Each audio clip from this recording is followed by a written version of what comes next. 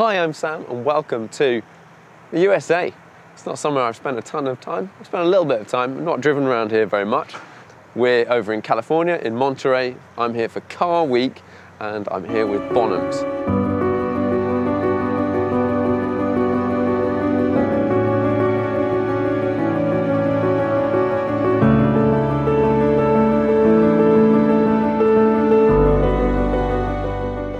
Today we're going to drive something pretty interesting, but before that, let's do a little flash through of some of the things that are here. What have we got here? Ooh, lovely 300 SL Roadster and Gullwing, sort of matching pair. That'd be a good dual purpose if you're into your Mercedes. Love to, love to have a go in one of them at some point. Z8, coming back into cool. I've never driven a Z8. And this one is a manual. I think that they're probably a lovely, lovely thing. I think they're more of a sort of GT car than an outright sports car, which now they're a bit older, probably suits them a little bit, little, their vibe a little better. Now, what, what is this? Think this is pretty cool. Old Ferrari. Let's go and read this. Read the stuff. 1951 Ferrari 212 Inter Alloy Coupe, which has had the coachwork done by Ghia. This is basically one of six truly unique, hand-built, put in a like, you know, big luggage space in the back. I think that's I think that's a pretty cool thing. The interior is lovely, very nice, classy color combination. Obviously, I'm a fan. I'm a fan of blue. 350 GT Coupe Lamborghini. Ah, there's something about. I'm not a massive Lambo fan, but these sort of o- older GT cars that they used to make I think, well, that's, that's kind of cool. Is it cooler than a Ferrari? I'm not sure. No, it's probably not cooler than a Ferrari, but it's something a bit different, a Lambo GT Coupe. This is, this is quite an interesting one. It's a, what is it? It's a V550, something like that? Let's have a quick look. Yeah, 1995 V8 Vantage V550 Coupe. So all of the power, 550 horsepower, supercharged V8, one of 239 has more horsepower than a brand new V8 Vantage F1 edition. Just a kind of absolute bruiser from the past. Quite cool. And then we've got we've got the Porsche section. There's, there's a lot of 356s and old 911s. So this is a Pre-A. Very classic colour. Not, not one for me. That black Speedster though, that's very cool very cool. Although I would have my Speedster in this color combination. This is, a, this is lovely. Look at this. So this, is a, this is a 356C, which I'm learning all about these things as we go along, really, um, and which are some of the later cars.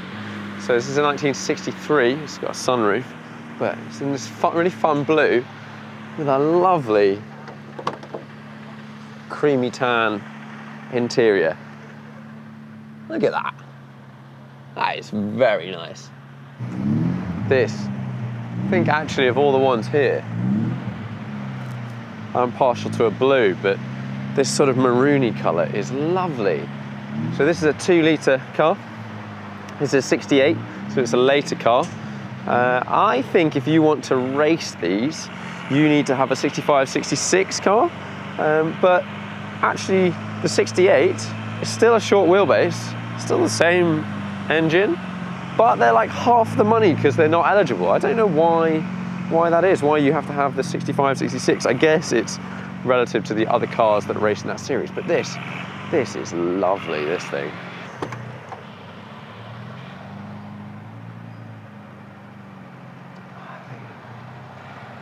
I'm a, I'm a stickler for, for 911s and Porsches, unfortunately.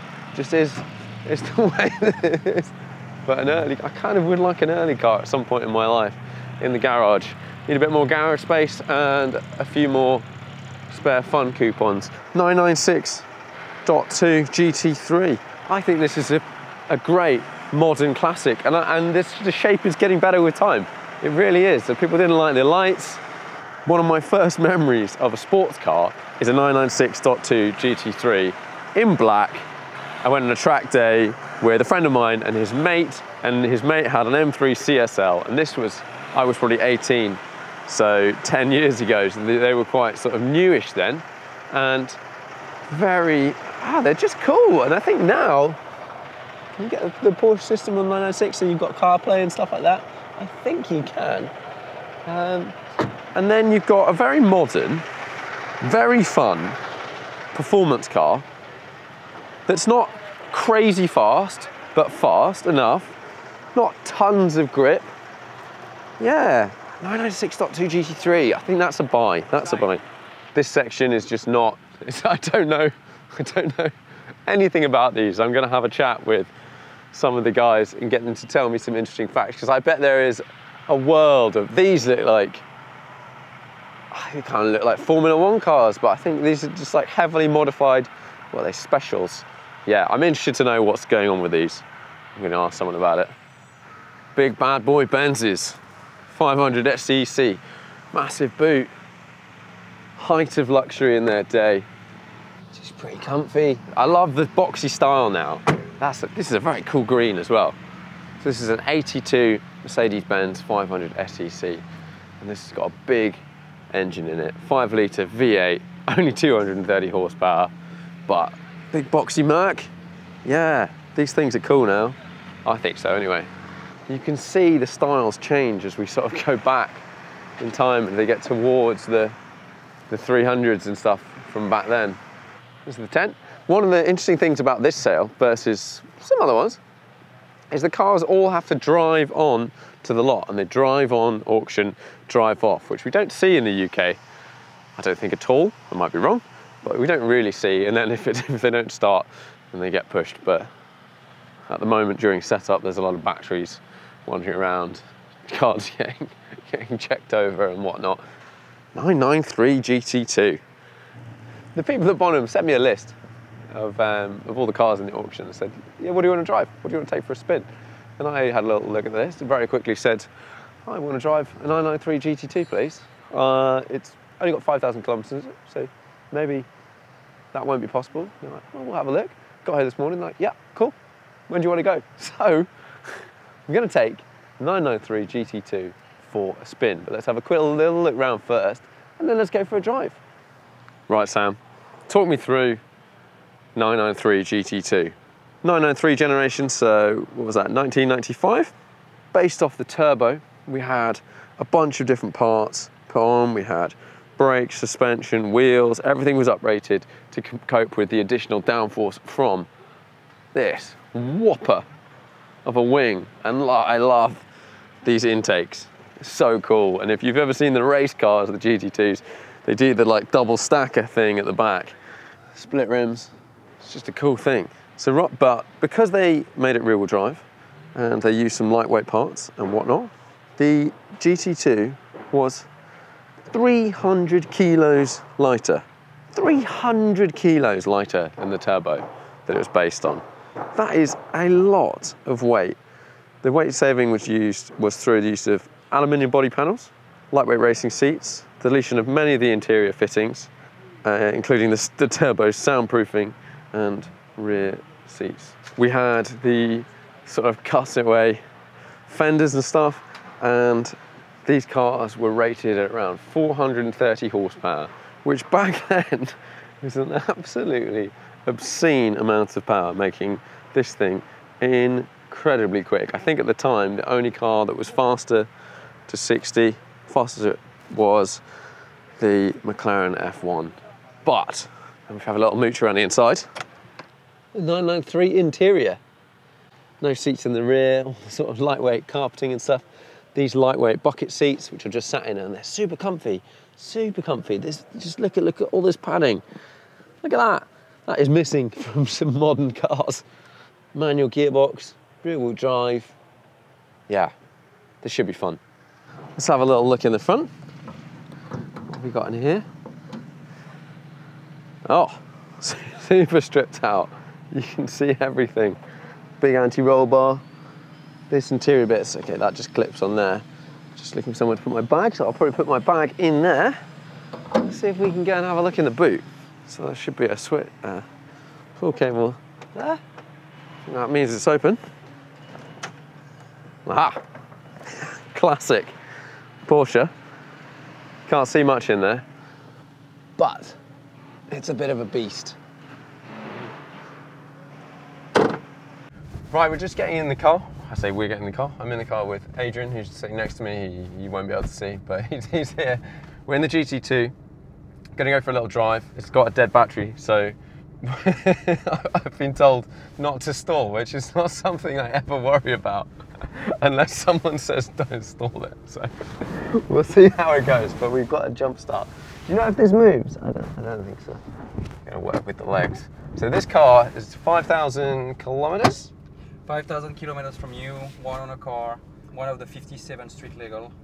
Wow, that makes it pretty rare. Right, let's let's go.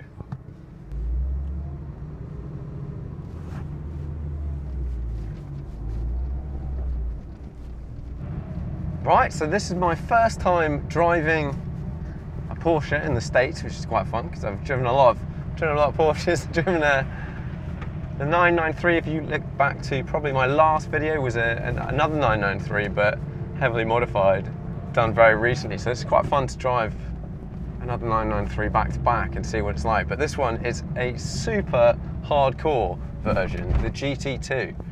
Starting to hear the, let's put my sunglasses on, starting to hear the noises from the car. Sounds like a Porsche, but heavily muted by the turbos. Now we're just sort of pootling along at the moment. Okay, my speedo is in kilometers, so I'll have to do a bit of a, a bit of mental maths to make sure we're going the right speed.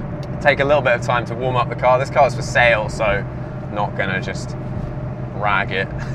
it's someone else's car, and it's literally going up for sale in the two days, so you can check it out on the the Bonhams auction website. But it's so nice driving in California. I've seen so many photos, so many images, and actually one of the things I don't think it's necessarily California specific, but just straight in the USA is having two yellow lines in the middle of the road just like sets the scene of that you're in somewhere else. The GT2, so heavily turbocharged. I'm expecting slightly sort of F40 S5s in terms of power delivery. Um, I think it's a single turbo. Twin turbocharge. Oh, it's a twin, Twin turbo. turbocharge, yes. So there's a bit of like, a, we get a bit of a stage. This car is 300 kilos lighter than the turbo, Yeah. which is, that is a huge difference. And the car does feel, it feels sort of light. There's lightweight glass. You can hear a reasonable amount of road noise in here, but let's, let's make a bit of noise. Okay, things about the GT2. Steering, the steering is not adjustable, which is quite, it's quite fun. Yeah then I'm used to, like, like in my F40, you got to adjust your seating so that your steering is. I, I think if I had, I wonder if you could put a spacer on something like this, just make it a little bit closer, and then then you could not have your legs quite so close. But it's not too bad. Like it's it's perfectly fine. I think heel and toe, I would probably want to put my seat a little bit further back, just to give myself a little bit more leg room. Nice steering wheel. I've got an airbag. That's quite a nice thing that we see see removed in a lot of a lot of modern resto mod stuff. Save your face. So low down, we don't have too much power. That was like two, three thousand RPM, like flat. It's building, but we're not like not in the power band yet. I've got a car in front, so obviously I'm not gonna drive into the back of them. But the gear stick seems pretty good. I- I'm slightly aware the, the gaps between the gates are quite close and it's quite easy to do second rather than fourth. So something you've definitely got to be aware of, of like pushing it slightly to the side.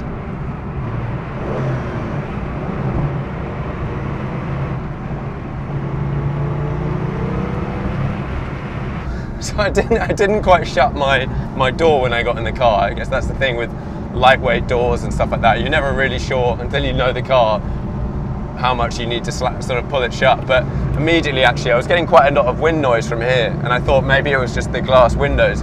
But as soon as you shut the door, I'm immediately hearing a lot more engine, and there is just, it's just, there's like nothing there. Bit of lightweight carpet. We've also got a bit of a gap in front.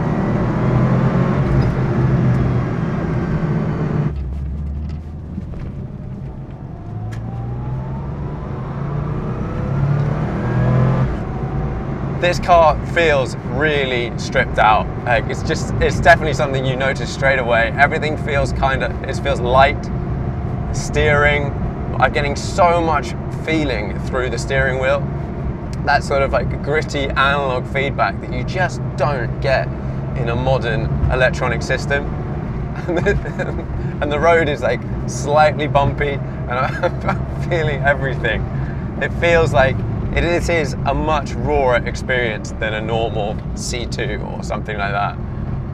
We've got some good roads as well. I am feeling so much of the road in this car, like a lot more than any car I've driven recently, which you can't you can't really drive that fast here. You actually probably wouldn't want to drive that fast here because the roads are so twisty. But having that extra bit of involvement from whether it's an engine note or sound that's coming from outside. They're the things that make cars more fun at lower speeds. And as silly as it is, or it might not sound silly, it doesn't sound silly to me, going for a more extreme build or a more extreme version of a car, they're much more fun at lower speeds, unless you go for a much older car, in which case it's sort of a different type of thing, you've got less grip. But just at this speed, which is like, what, 50 miles an hour or something, you're getting so much more out of the experience. So we're gonna probably pull over in a minute somewhere, have a little walk around in the car, and then get back in and cruise back the other way. Oh, getting out of the car, been for a little little bit of a first drive as you got to leave the car on because we're not quite sure. It needs a new battery. Um, and, and, just being told you can't stall this car otherwise you're stuffed. But it's, it's a fun one it's a fun one. It's I'm not sure like the, the turbocharged experience has its sort of pluses and minuses doesn't it? It's you get all that extra power and actually you get the sort of boostiness this car, when you're out of it, and I, because of the, the gear shift is really close in between the different sort of like lines, and what that means is I keep changing from second to fifth rather than to third, and then you just, the car just drops right out. But the more you drive it, the better you like sort of work that stuff out and pick up the differences. And it's so raw. It's so much rawer than even uh, that Paul Stephens car that I just drove, but that was not, not meant to be like this. It's all, all the lightweighting, 300 kilos lighter than a turbo. And there's just nothing between you and that engine in the back. It's, it's a fun thing. It's a fun thing. So let's get back in the car. I'm gonna take a few photos and then we're gonna go drive back the other way.